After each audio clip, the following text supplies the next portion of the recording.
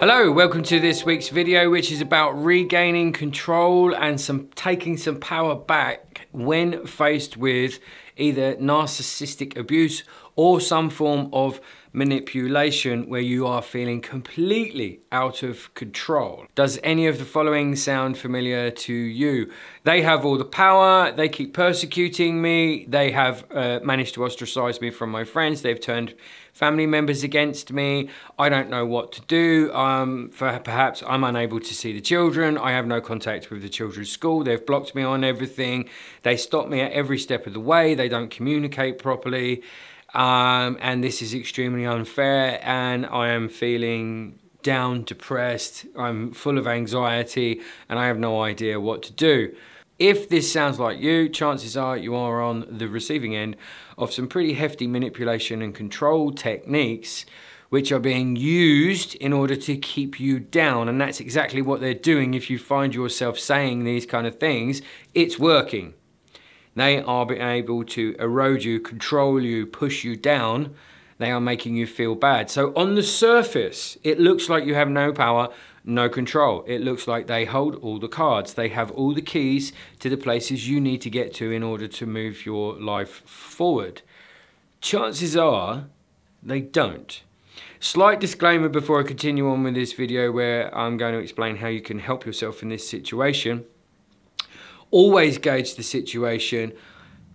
Think about what you are going to do next carefully and what the implications are of it might be in order uh, for you to assess whether or not it's going to put you in actual imminent danger.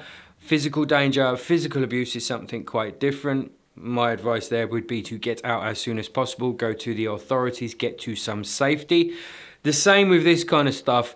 Um, it's very say for instance with therapists it's very uh, easy to kind of try to rescue someone make things safe highlight the problem highlight the issue highlight the abuse to your authorities sometimes it can make things a lot worse especially when it, uh, children are involved so before you do certain things um, think about them carefully and as I said the consequences of them and how you, you can handle those consequences. This video however is mostly going to be focused on changing the rhetoric, the narrative that's going on within your head. That is the first step to regaining some kind of control, some kind of power on an, uh, some kind of equilibrium within the situation. So, a lot of us can find ourselves in this situation. Uh, it's quite common during divorce or separation. Um, it can happen within family dynamics, especially if somebody who was kind of acting as a um, kind of peacekeeper it dies, and then the whole family can begin to disintegrate, squabble, argue, and certain things that are not particularly nice can happen. These are some kind of scenarios. I'm going to use these as examples to help you understand what to do. So for instance, let's uh, use the example of divorce and separation where there are children involved. Sometimes the residing parent can actively not block, but hinder the progress of the non-resident parent by not giving over, let's say, uh, school reports, information on medical uh, stuff, where their children might be based medically, dentistry, things like this, things happening in the kids' lives. Sometimes the kids don't communicate quite so much, and that is because they are also having to deal with said parent and this situation. And sometimes it's easier for children just to be silent, just to be quiet, and communicate minimally. Remember, sometimes in the case of children, the focus will be on the parent who doesn't give love. The focus will be on the parent who can reject really easy. That's where the attention goes. If you are the parent who is loving and giving and emotionally available, they don't have to fight for your attention. This can often feel quite unfair because the attention will go to the kind of more ambivalent, ambiguous parent. And again, this is about changing the rhetoric in your head. It's about understanding this dynamic and understanding where the children are at. And again, this can begin to bring up the level of uh, equilibrium and power and control within a situation.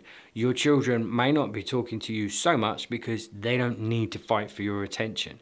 They may be trying to survive in the environment that they are currently within, which is best to almost pretend that you don't exist. There are certain things you can do with regards to exterior stuff. So you can go and seek legal help. You are perfectly entitled to do that. Often with control and manipulation, the, the point of it is, is to depower you is to make you useless, is to make you feel you have no options, you have no choice, there is no one who can help you. When you start to realize there is, you can go to the authorities, you can go directly to, for instance, schools, medical centers, make yourself known as the parent, get them to communicate directly with you about certain stuff, bypass the other the other parent bypass the other person. This is extremely easy to do, and, and these um, institutions and authorities will do this. They're very well aware of these situations and what can happen between people. How you then begin to deal with communication is on uh, a whole different set of kind of um, tips and tricks, if you like. First of all, you don't have to answer every message and every email, every contact. You don't have to justify yourself and you don't have to actually give a response. And ultimately, you don't even have to read it. So there is a block button. There are blocks you can use on emails. Yes, if people are close, if there's family members involved, they will find a way to get in, sometimes innocently, kind of just mentioning something, and it can set you off on a trigger. The point is, what the manipulator is doing, what the controller is doing, they are able to make you react. They know your triggers. And in the words of Gabor Mate, if you are triggered, then you are the one carrying the ammunition. You are the loaded gun. Once you analyze the ammunition, realize what it is, you can defuse the situation really quick. And the next time someone tries to trigger you, which is a control mechanism, there'll just be a click. There's no reaction. So first thing you can do when there are correspondences, when there's contact that happens, you can take a step back. Take that 15 minute gap. I did a video on that as well. I'll try and put it up here. Take that 15 minute space, pace up and down, punch a bag, go for a walk. Do something like that. Distract yourself for 15 minutes. If you need to do it again, do it for another 15 minutes. Get the emotion out of the situation. Get that instant reaction of, I've just been served an injustice. I've just been accused of something which is not true. I've just been told more lies. I've just been pushed down again. I need to react. I need to defend myself. I need to show that this is an injustice. Take all of that away because that is exactly what the manipulator and the controller is playing on. They're playing on your need to defend yourself. That's how they get you running around in circles. So they trigger, trigger, trigger. What they're also doing highly likely is projecting their insecurity. This is quite common and it's not necessarily uh, reserved for romantic relationships. This can happen within families as well. They may feel guilt for the way they treated you. They may feel guilt for some of your for some of their betrayals against you, some of their transgressions against you.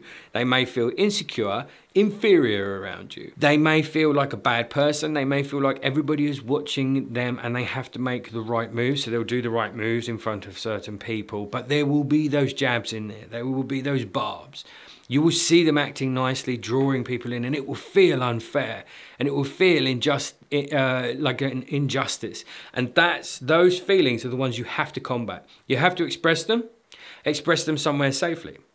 Build yourself a network and not a network of people who are taking the side or believing the narrative of the other person without consideration to your version of events. If you find, and this can happen, friends, family are just kind of going with what the other person is saying without consulting you, without kind of finding out what's going on for you.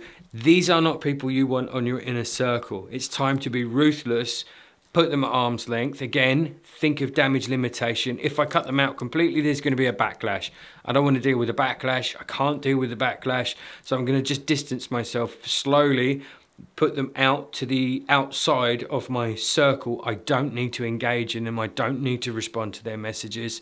They're probably not sending you any messages other than abusive ones or accusatory ones. These are some of the techniques you can use which help to change the narrative in your head. You are no longer powerless you can gain some control. You can get direct links to certain, like I said, bodies, institutions, a network of people who are there for you, non judgmental, supportive. Maybe they'll pull you up and say, hey, you know what, you're reacting again, you're, you're, you're justifying yourself, you don't need to do this, why do you keep responding? They may pull you up on that. That's a good friend. That's someone who's going, hey, I, I understand what you're going through. I think you're making some of the wrong moves. I think you may need to step back.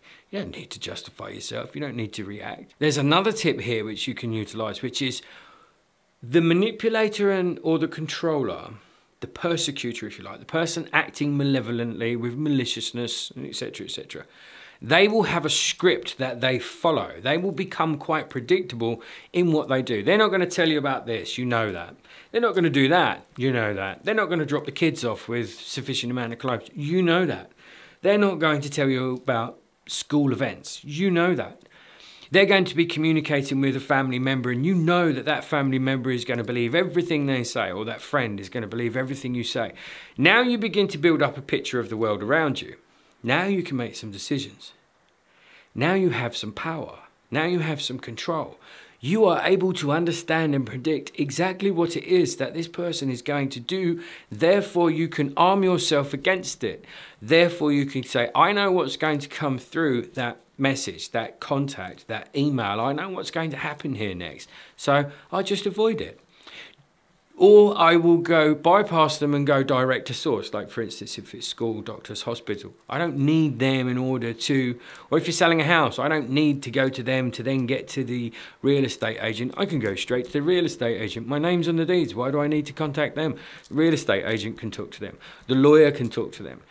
There are ways around all of this, but because, as I said, the manipulation and the control is to put you down, is to depower you, they will do everything they can it will be lies, injustices, accusations. Look at the way you're behaving. There'll be tons of projection in there. They'll be feeling insecure, inf inferior, as I've said. They will project that onto you. Look how look how shit your life is. Look how insecure you are. Look at how you treat the children. Look at what you did. Oh, you didn't even take them for to a restaurant. You know, you just walked them in the park. I mean, they will use anything, which for other people is like, well, we took the kids in the park. It's natural. It's nature where they played in the trees. Oh, how, how could you? They were playing with a stick. They could have had an accident. All of that stuff. You can begin to counteract this in your head. You can begin to not answer it. Give yourself that space to heal, come forward, grow, gain some strength. And this is by stepping out of the situation. Take that helicopter view, take that objective stance.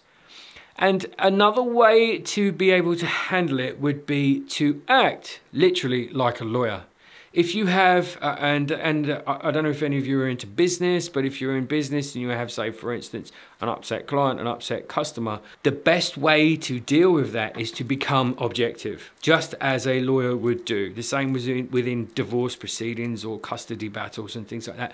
Become objective. Take the emotion out of it. Take the conjecture out of it express it somewhere else where you can let it out and that, that person will hear it and they'll have empathy for you and they'll go through it with you. But when it comes to certain direct communications that you have to respond to, take that step back, take the emotion out of the injustice, take the emotion out of the lies, take the emotion out of the accusations. Do not react straight away. Take that 15 minutes, come back and give pure facts, objective something that can't be disproved, something that, you know, I don't know, whatever it might be, you know, like, yes, on this day, this this happened and this occurred and then that happened. And say no more. Ask no questions. Don't ask them why they're doing it. You know why they're doing it. Because they don't want you to feel good. It's that simple. It's not a brilliant answer, but it's the way it is. And eventually, that answer to that question won't matter to you. You will become indifferent. But this is about training your mind to not react, training your mind to see around the manipulation, because manipulation is a lot of it is about clouding someone else's judgment, about giving them fog, about making darkness and gloom so they don't quite understand what's going on. They can't quite see what's going on. But this becomes quite predictable behavior because they see that it's working. And then you can begin to counter it. When you no longer react in the way that was predictable, their predictable manipulation is going to start to crumble, but they don't have a backup system. They'll start to develop one, and again, if you stay on the course, you if you stay the course, the backup system that they develop won't work either. Like, As I said, you begin to empower yourself, you begin to climb out of this kind of crumbled, you know, fetal position, uh, kind of they have all the cards, they have all the power, they've destroyed my life, they've destroyed my connection to so and so and so and so and so and so. etc., etc. They're making this very difficult. You begin to, by changing the mindset, by putting some of these tools in place, you are able to change that entire situation and quietly bring yourself to a, a higher level of control, power, and equilibrium within this dynamic until this dynamic eventually burns itself out, which they always do through silence and no connection. Eventually, when all is said and done, done and dusted, property sold, kids have grown up, family no longer, you no longer have anything to do with them, etc., etc. So I hope this video gives you some insights if you are going through something like this. I hope you find it helpful and until the next time, please take very good care of yourselves.